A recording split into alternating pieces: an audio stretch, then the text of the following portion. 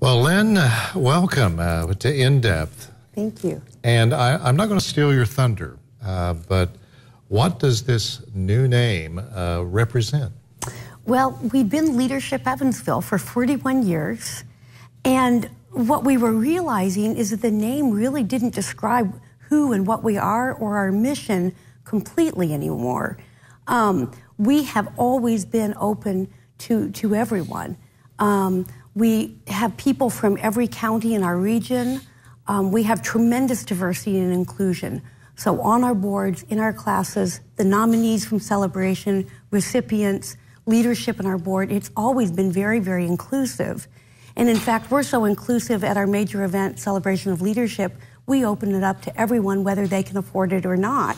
And, and so, this is almost, you've grown to the point where you may need a bigger room uh, to oh, celebrate. yes, absolutely. We, we've gone to the exhibit hall. Um, we had nearly 1,600 people mm-hmm. um, tonight. But what we found is that people would come up and say, well, can we nominate if they're not from Evansville? Can we come into one of our leadership programs if we're not from Evansville? And we were like, of course. And we've always had people from everywhere. So our board was so excited tonight, tonight to announce our new name that will describe us better to be Leadership Everyone.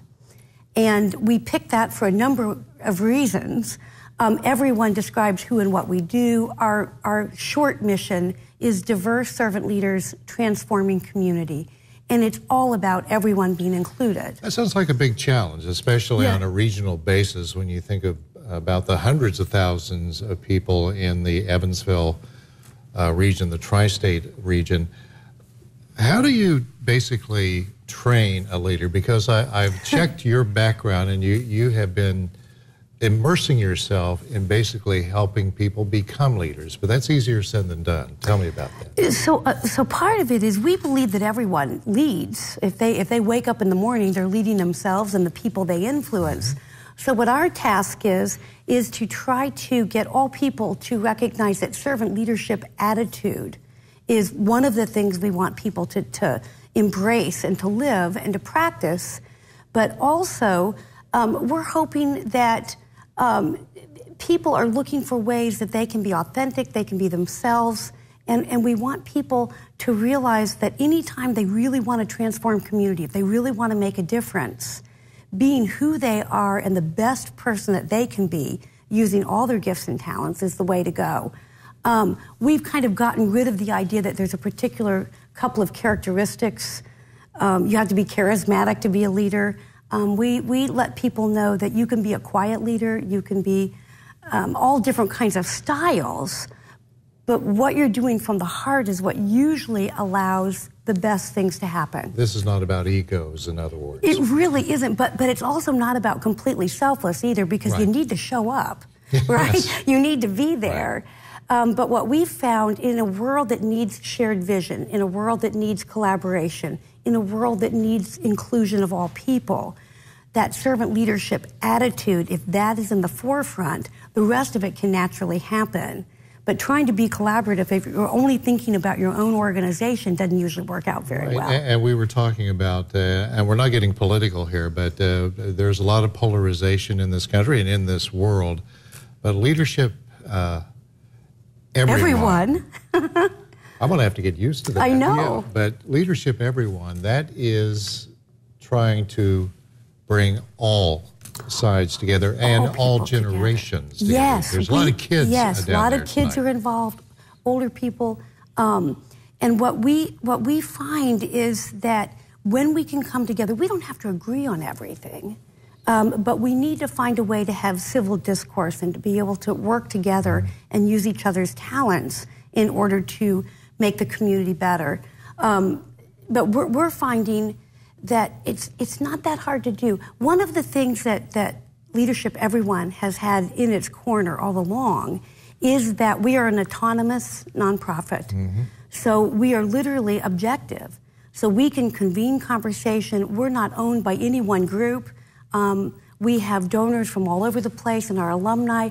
So we're able to go into the community and help the community listen, vision, and do transformation because we are autonomous. but we seem to have lots of people from lots of different groups. So we're kind of owned by no one, but we have a little piece of everyone. And speaking of numbers now, Yes. how many nominations uh, are we talking about? We had 175 nominations that- from that five sounds- counties. that- yes, that My was a heavens, lot. How did you sort all that? Well, the, the selection committee, thank God, does that, and there's about 14 of them, and I am so glad to say I don't vote. and how many people uh, at this uh, exhibit hall? We, we believe there were 1,600 people. 1,600. 1,600 people, and Wow. all different kinds of people, including a couple of horses. Um, the, um, the officers on the horseback received, and, and they came and got their award too. So we, we believe in, I said everyone. Okay, and will this change? It sounds like you're just naming a strategy that you've been involved with for many, many years. I mean, you've been involved as a participant and as a leader, and now CEO of this uh, of this group that has just grown. I think it really better describes who we are, how we've lived. It's not aspirational. It is futuristic, though, because we want to do more and more work within the region. Um, we're, we're looking at doing some visioning in five counties, like we did in our county. So we are definitely reaching out more and more.